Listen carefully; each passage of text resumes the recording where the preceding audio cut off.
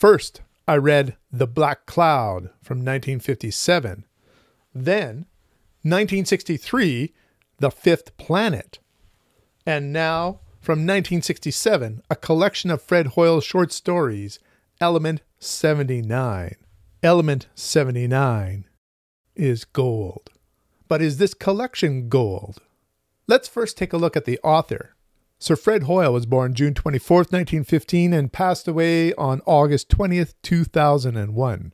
He was an English astronomer who formulated the theory of stellar nucleosynthesis. He also held controversial stances on other scientific matters, in particular his rejection of the Big Bang Theory, a term coined by him on BBC Radio, in favor of the steady state model and its promotion of panspermia as the origin of life on Earth. Panspermia is the hypothesis that life exists throughout the universe, distributed by space dust, meteoroids, asteroids, comets, and planetoids, as well as by spacecraft carrying unintended contamination by microorganisms, known as directed panspermia. The theory argues that life did not originate on Earth, but instead evolved somewhere else and seeded life as we know it.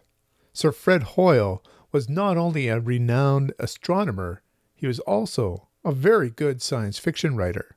You can find a review for his debut novel, The Black Cloud, or for The Fifth Planet on my channel. But today, let's talk about the stories of Element 79. This is a collection of 15 stories in under 150 pages. The longest is about 20 pages long, and the shortest is only two pages. These stories touched on themes you may see in a lot of science fiction stories from the 50s and 60s. For example, the first story, The Zoo Men. This is a tale of alien abduction. Humans supposedly being abducted to be part of an alien zoo. But is that the case? A far future expedition of humans discovers descendants on another planet. Pym makes his point. Pym is a retired physics professor. He is looking for significance in his life and makes a deal with the devil. The magnetosphere. What if an expedition finds that the magnetic sphere around the planet is actually alive? Can they communicate with it? Not all the stories would be science fiction. There's some fantasy and even slice of life stories here. A Play's the Thing explores the playwright's writing of a play with a man and two women. And there's cattle trucks. The Greek god Dionysus awakens after thousands of years of sleep to be a witness to what 1960s California is all about. He experiences freeway driving and a crowded plane trip. Of course, there are some unusual consequences for having a god on your flight. Welcome to Slippage City is also another tale of a deal with the devil. This seems to be a theme that Fred Hoyle liked to visit. The axe is a simple tale, a mountaineer tale. An axe is a special possession as it has a nostalgic story behind it. Agent 38 combines espionage and planetary exploration. What will we find on the surface of Venus? This was a clever story, one of my favorites. The Martians was a story about NASA and how it possibly could start setting up a moon base on the moon and eventually reach out to Mars. At first, it seemed to be a blueprint for further exploration, but then we discover there are Martians. But these Martians aren't biological. An interesting story. Short sighted reminded me of some of the adult stories of Roald Dahl. It's a bird watcher story with a twist ending. A Jury of Five is a curious take on the afterlife. Think quantum physics and ghosts. Who is really dead in a car crash? This was another story I really enjoyed. Blackmail was a weird little story about someone teaching a group of animals to watch TV, but this is an unusual group of animals. Element 79 is the namesake for this collection. It is a story of an asteroid that develops into basically only element 79, and that asteroid comes to Earth near Scotland.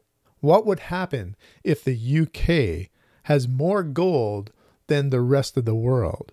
Would the price of gold plummet, or would the UK use element 79 judiciously? And if a country became so rich that nobody had to work, what would happen to the people of that country? This, too, was a good story. The Judgment of Aphrodite is another story of gods in our modern time. It's a story of Hermes and Aphrodite judging humans to see who would be dominant in the world. And the final story is The Operation. What if a society, in trying to promote harmony, has an operation, but this operation conditions the population to be not interested in sex? Is this population control, or is this the end of humanity? I found a number of the stories in this 15 story collection to be surprising. I had read two science fiction novels by Fred Hoyle that were obviously written by an astronomer. These stories only featured a bit of astronomy. Most of them seemed to explore themes that were prevalent in the 1960s literature. I really didn't think I was going to find stories about gods and devils. So, out of the 15 stories, I found about five that were standouts for me and then the rest were okay.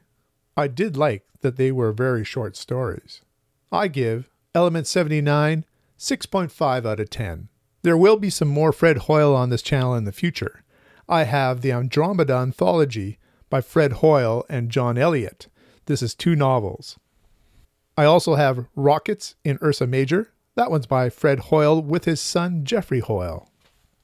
October the 1st is too late into deepest space, once again with his son, and the incandescent ones, once again with his son.